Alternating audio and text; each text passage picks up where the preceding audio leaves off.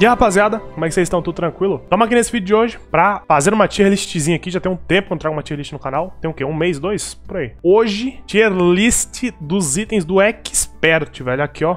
Todos eles já estão aqui na mesa, inclusive organizados na ordem que a gente consegue no jogo, né? E aqui na nossa tier list, além dos padrões S, A, B, C, D, temos um espaço pro melhor item e o pior item. Lembrando, esse vídeo é a minha opinião, por mais que ela esteja muito bem embasada, tanto em experiência quanto em fatos, mas vocês estão livres para deixar a sua opinião aí nos comentários ou fazer a sua própria tier list no comentário fixado, que eu vou deixar o link dessa tier list lá no comentário fixado. Daí se você quiser mandar o link da sua pelos comentários ou mandar lá no nosso grupo do Discord, que o link vai estar no comentário fixado também, fica à vontade. Mas vamos deixar de enrolação aqui, vamos começar logo essa tier list aqui com o drop do Slime King, que é a Royal Gel, esse bem me lembro. Esse item aqui, a única coisa que ele faz é te dar imunidade às slimes, né? As slimes ficam de boinhas contigo. Falar que esse item é bem mais útil do que parece. Ele é útil principalmente quando você vai explorar as cavernas, já que as slimes pretas elas não vão te atacar. Nenhum slime vai te atacar, na verdade. É útil para as slimes pretas, as slimes de espinhos da jungle. Tanto que muita gente, inclusive eu no passado, só ia na jungle explorar o subterrâneo com esse item, porque aquelas slimes com espinhos elas dão um trabalho do caramba. E além dessas duas, também tem as slimes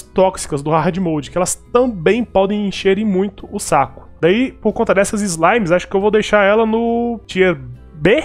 Entre o tier B e o tier C, velho. Vamos tier B, tier B. Me parece justo. Próximo escudo de Kichulo, que é dropado pelo próprio olho de Kichulo. Ele nos dá 3 de defesa e a habilidade de dar um dash, velho. Pro pessoal que é mais habilidoso e gosta, sente falta desse dash, pode ser bem útil, mas geralmente eu me viro muito bem com o gancho, e aí eu nunca dou muita falta desse item, velho. Daí, acho que dá pra colocar ele aonde aqui? No C ou no B? Hum... Vou colocar no C, velho. O pessoal vai ficar boladíssimo nos comentários. Tô até vendo já. Mas eu realmente acho que tem opções melhores de itens do que esse escudo, velho, no começo do jogo. Se você pegar ele bem, bem cedo, acho que não tem tanto item pra concorrer com ele, né? Aí talvez ele seja um item que fique lá equipado, mas eu geralmente não faço questão de ter ele, porque eu não sinto falta desse dash. Mas próximo temos aqui o Wormscath, que dropa do Devorador de Mundos, que é um item que ele dá, se não me engano, 17% de redução em qualquer dano que a gente receba. É um item absurdamente forte. Esse item aqui é muito bom, velho. Esse esse aqui tá entre o, o S e o A aqui, velho. Primeiro rank S, primeiro rank S, tá aí que esses 17% aplica em qualquer dano que a gente receber. Tipo, é uma redução absurda, principalmente para as dificuldades mais altas, Expert e Master, ou até mais do que isso, como Fodder Worth ou Get Fixed Boy. Isso aqui ajuda muito, velho. Esses 17% fazem a diferença. E outro item que nos ajuda a poupar bastante dano, o Cérebro da Confusão, que na 1.4 eles mexeram nesse item. Antes da 1.4 esse item era um completo lixo, era terrível esse item, não valia a pena você equipar ele. Depois da 1.4 colocaram uma passiva nele que dá uma chance de 10% de você ignorar o dano quando tá com esse item equipado. Além de aumentar sua chance de crítico depois do desvio, é um item absurdamente forte também, velho. Esse tá entre o A e o S aqui, mas só pra não colocar ele no mesmo nível do cachecol aqui, hum, eu vou colocar no A, mas ele é um item muito forte. B-Pack, que é o drop da B-Queen, que ele dá um buff em abelhas, no geral, armas de abelhas, né? É um item bem situacional, viu? Bem, bem situacional. Que a única coisa que ele faz é buffar abelhas, né? Se você não tiver usando nenhuma arma que dispare abelhas, não tem utilidade nenhuma esse item. Mas em respeito ao Bikinis, que é o arco,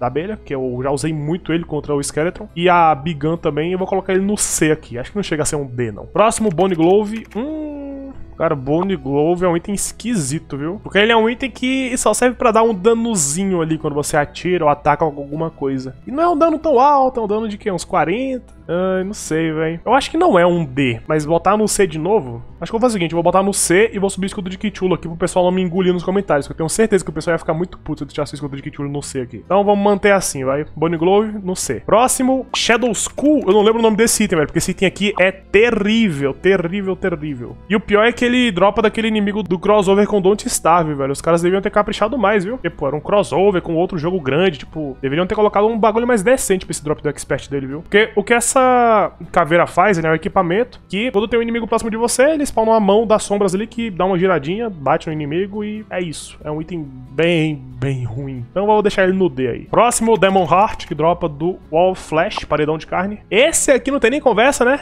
Top tier, porque esse item nos permite colocar outro equipamento. É um item absurdamente forte, velho. Absurdamente forte. S tier, não tem nem discussão, vai ficar no topo ali por enquanto. Olha o nome desse item, velho. Esse item aqui eu não sei qual é o nome. Acho que é Volatile Gelatin, alguma coisa assim, velho. Vou estar deixando na edição o nome desse item. Cara, que item estranho, velho. Porque ele dropa no Hard Mode. Pra um equipamento ser útil no Hard Mode, ele tem que ser muito útil, porque a concorrência é forte. Porque no Hard Mode já temos acesso ao quê? Já temos acesso a emblemas, o Cross Necklace, o Pedra Filosofal. Tipo, tem muito equipamento bom. Pra você trocar algum equipamento desses bons por um outro item, tem que ser um item muito bom. E essa gelatina aqui não é um desses itens.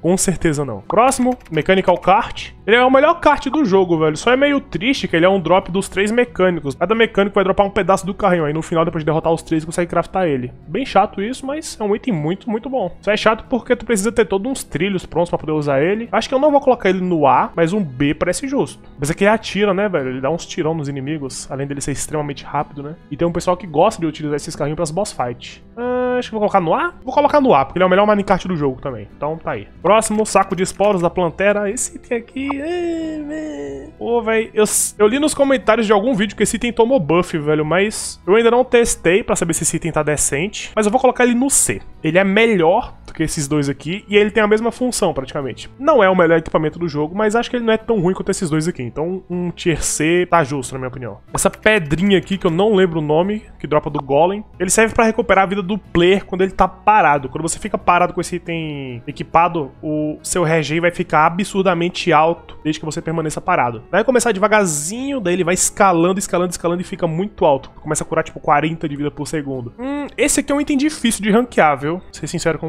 vocês, esse é um item difícil de ranquear. Eu não lembro se esse parado significa não atacar também. Se puder atacar, ele é um item bom. Um BA, se puder atacar, mas eu não lembro, velho. Hum, decisão difícil. Acho que eu vou botar no B botar no B aí. Porque eu tenho quase certeza que se você utilizar direito ele em um evento, se você estiver jogando com amigos em uma boss fight, ele pode ser um item bem útil. Porque você pode deixar ele pronto no seu inventário, daí você pode trocar o agro do boss com um amigo seu, daí você equipa esse item, fica lá parado um pouco pra recuperar sua vida toda, depois você volta pra luta, e se seu amigo precisar recuperar, ele faz a mesma coisa. Parando pra pensar agora, essa é uma estratégia muito boa, velho. Quando eu for jogar com alguém, eu vou fazer isso. Próximo item, Witch's Broom. Esse item é bom. Hum, esse item. Ele é a montaria com move speed mais alto das que voam, se eu não me engano. Então ela é bem, bem boa, viu? Deixa eu botar no A. Botar no A? Botar no A depois o minecart. Porque esse item aqui é muito bom, velho. Quem gosta de construir esse item aqui é gostoso demais, velho. Que é muito prático tu usar isso pra construir. Só vai voando ali, colocando os bloquinhos, pá, muito suave. Além de ser muito útil pra boss fight também, né? Tu ficar desviando dos golpes do boss. Inclusive, nem comentei que ele dropa daquela árvorezona roxa da Pumpkin Moon. Mas vamos agora pro próximo, que é o motivo de eu não ter colocado essa montaria no S. Crimp Truffle, que dropa do Duke. Esse item é um absurdo de bom, absurdo. Por quê? É uma montaria que voa infinito, como o vassourão aqui. Só que ela é um pouco mais lenta, porém, se você passar na água, porque essa montaria aqui é um duquezinho, o duque ele é um bicho da água. Daí, se você passar na água, o duque toma buff, como se ele tivesse tipo no habitat natural. E aí o que, que é esse buff? Ele fica muito, muito mais rápido, além de garantir ao player um buff de dano, se não me engano. É, acabei de ler aqui. Dá um buff de 15% no dano, que absurdo, velho. Mano, esse item aqui é muito, muito bom, cara. Que item forte. Próximo, Soaring Insignia, que é o drop da Empress of Light. Esse item é bom. É um dos meus favoritos, velho. Eu adoro esse item. Porque eu não gosto tanto de usar montaria, velho. Não acho tão prático, por mais que seja só você apertar um botão. Gosto bastante de usar asa, velho. Geralmente eu prefiro. Mas como eu disse, tentarei ser o mais imparcial aqui nessa tier list, então eu não vou colocar no S, que é onde eu colocaria se fosse algo mais pessoal. Vou colocar aqui no A depois do Minecart. O Minecart não é melhor que a Soaring Insignia, não. Esse item, basicamente, ele te garante voo infinito, além de deixar as suas asas e a sua mobilidade no ar muito maior. Você fica muito mais rápido, consegue acelerar mais fácil e é um item muito bom, velho. Eu gosto muito de usar ele pra boss fight com asas que tem glide também, como a da Betsy. Acho muito forte. Temos agora Suspicial Looking Tentacle, acho que é esse o nome do item. Que é basicamente o olhão azul que o Mulord dropa. E agora já estamos nos dois drops do Mulord, né? Esse aqui é um item bem legal, que ele provê uma iluminação absurda de grande. Eu não vou nem contar o fato dele revelar tesouros, né? Revelar tesouros. Ele só dá um brilhozinho quando tem um tesouro perto. Não vou nem contar isso porque, pô, tu acabou de derrotar o Moonlord. Um, um baúzinho ali de ouro vai ser útil pra você? Duvido bastante. Então não acho essa parte mais legal desse item. Eu gosto bastante da área de iluminação que ele dá pro player. Esse aqui eu acho que é um item tier... Esse aqui é difícil de ranquear, porque ele é um drop do Moonlord, né? Cara, como um drop do Moonlord, acho que ele vai pra um B aqui, hein? Porque ele vai pra um top do B? Não, o top acho que não. Eu vou botar ele aqui, ó. Aqui tá um bom lugar pra ele. Que pro ponto do jogo em que o escudo e a Royal Jelly são úteis, ele não se compara a eles no ponto do jogo. E esse é um item de game. A função de um item de game é ser roubado. Então, se ele não fosse roubado, ele seria um item terrível. Que é o caso do terrário aqui. Esse item é horrível, cara. Na moral, esse item aqui. Nossa, que que item podre, na moral. O Gravital Glove, o nome do item, acho que ele parece um terráriozinho aqui, ó, um globo de, de neve, sabe? Porque ele tem terrinha dentro. Que item esquisito, velho, porque ele dropa do Moonlord, cara. Eu tenho que falar que ele dropa do Moonlord, né? Lembrar vocês que é o final boss do jogo, o último boss. E o que esse item faz? Quando você tá com ele equipado, você aperta o botão pra cima e seu boneco inverte a gravidade e começa a cair pra cima. Se você apertar de novo, ele inverte pro normal e você cai. Ué, esperava algo mais de um drop do final boss do jogo? Cara, esse item, ele é patético, velho, porque ele dropa do Moonlord, o último boss do jogo. Pra que que tu vai querer usar essa porcaria desse item, velho? Se já tem a Soaring Insignia, já tem o Vassouro, já tem a Trufa, por que que tu vai querer essa porcaria desse item, cara? Sério. E eu quase esqueci da Celestial Starboard é bem capaz de eu ter deixado algum item passar, velho. Se eu esqueci, vocês falem no comentário. Que é muito item no Expert, né, velho? Mas tá, voltando pra tier list. Esse item aqui, velho, é a melhor asa do jogo, basicamente, né? Não, não tem muito o que falar sobre. É a melhor asa do jogo, é isso aí. Não chega a ser um S, porque já vai ter muita asa boa. Eu não sei se chega a ser um A. Acho que não, né? Hum, acho que. Não, não, não chega. É a melhor asa do jogo. Então, com um pouco de respeito a ela, eu vou colocar ela no, no top do B aqui. E agora, para não ficar muita coisa aqui nesse B, vamos descer o, o cristalzinho do Golem. E essa seria a tier list, se não tivesse a opção de colocar o pior e o melhor item. Pior item... Não tem, não tem discussão, tá? Tipo, não, não existe defesa pra esse item aqui, tá? Ah, esse item é útil pra fazer mapa. 1% dos caras que jogam Terraria vai fazer um mapa. E menos desse 1% ainda que vai chegar a postar esse mapa em algum lugar pra alguém jogar. Pra que, que tu vai querer essa trinqueira, velho? Esse item não serve pra nada, sério. E melhor item do jogo? Hum. Cara, que decisão, hein? Eu poderia colocar o coração, porque o coração já tá aqui no topo, né? Mas acho que seria clichê demais, porque eu já fiz isso nas minhas duas tier list. Então vamos colocar aqui, melhor item do jogo. Uh, o item mais impactante, né? Vamos ver. Qual que é o item que mais impacta no jogo todo? Acho que é o Wormscarf, hein? É, o Wormscarf. Ele vai te ajudar desde o começo ali do pré-hard mode, vai te ajudar em todas as boss fights ali, evento, tudo, basicamente. Então, acho que é esse aqui, né?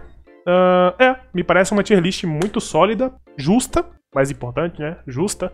Pro vídeo de hoje é isso, velho. Você curtiu a tier list, não gostou? Deixa aí seu feedback nos comentários. Se você quiser dar alguma sugestão de tier list, né? Ou qualquer outro vídeo pro canal, porque aqui a gente não faz só tier list, faz vídeo de construção, farm, guias, um monte de coisa aí. Então, quiser ver algum vídeo desses aí, é só entrar no canal, aproveita e se inscreve pra receber os próximos vídeos. E se você quiser postar sua tier list pra uma galera ver, encontrar alguém pra jogar contigo, ou talvez alguns memes, né? Tu quer dar uma risadinha, dá uma colada no nosso servidor do Discord, o link vai estar aí no comentário fixado, velho. Queria tirar um espaço aqui nesse final do vídeo pra agradecer todos os membros do canal, dão aquela ajuda monstra sempre pra nós aí. Então, a todos os membros do canal, muito obrigado pela sua ajuda. Mas eu não vou mais te enrolar por aqui. À sua esquerda vai ter uma outra tier list que eu fiz com todos os NPCs do jogo. E à sua direita vai ter a minha série jogando só de melee no Terraria Master Mode. E o pessoal tá curtindo demais essa minissérie que eu tô fazendo aí. Logo, logo vai ser o próximo vídeo pra ela. Mas não vou mais tomar o seu tempo por aqui. Te desejo tudo de bom e te vejo no próximo vídeo, hein? Te espero lá. Tchau, tchau.